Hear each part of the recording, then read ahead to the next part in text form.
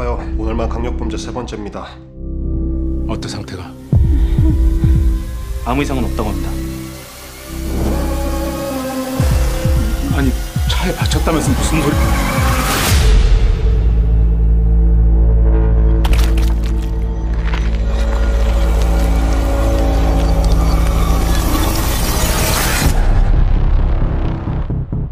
몇 달 전,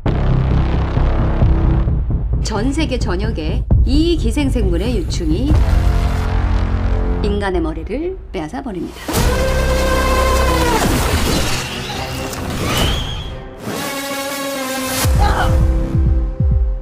네 안에 있는 기생생물이다.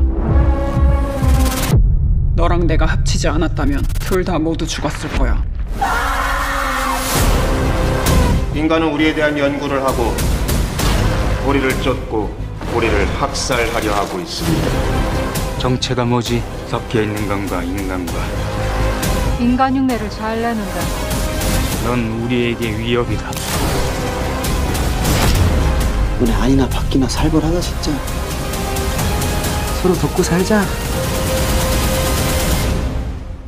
내일 새벽 해 뜨기 시작할 때 소탕 작전 돌입합시다.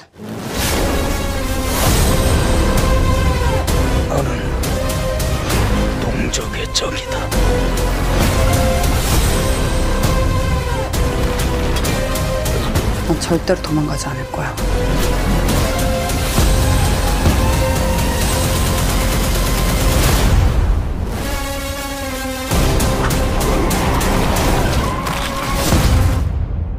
결국 너랑 나랑은 함께 살아갈 수밖에 없어.